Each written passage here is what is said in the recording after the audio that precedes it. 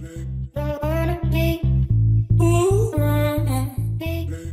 Asesinan a joven de 23 años en Bayamón. La policía investiga el asesinato de Eric Eduardo Hernández Rivera, de 23 años de edad, registrado durante la noche del lunes en la avenida Santa Juanita en Bayamón. Según el informe policial, agentes fueron alertados sobre detonaciones en ese lugar y al llegar encontraron en el suelo el cuerpo de Hernández Rivera, quien era vecino de ese municipio. La víctima presentaba múltiples heridas de bala que le ocasionaron la muerte. Al momento se desconocía el móvil de los hechos. Por otra parte, asesinan hombre de 37 años en el barrio Playa en Guayanilla. Un asesinato fue reportado a eso de las 9.15 de la noche del 13 de septiembre del 2021. Hechos ocurridos en la calle San Pedro de Macorís del barrio Playa en Guayanilla. Se informó que mediante llamada al 911 fue reportado un herido de bala cerca del negocio La Rinconada. Al lugar se personaron agentes de Guayanilla, encontraron en el área del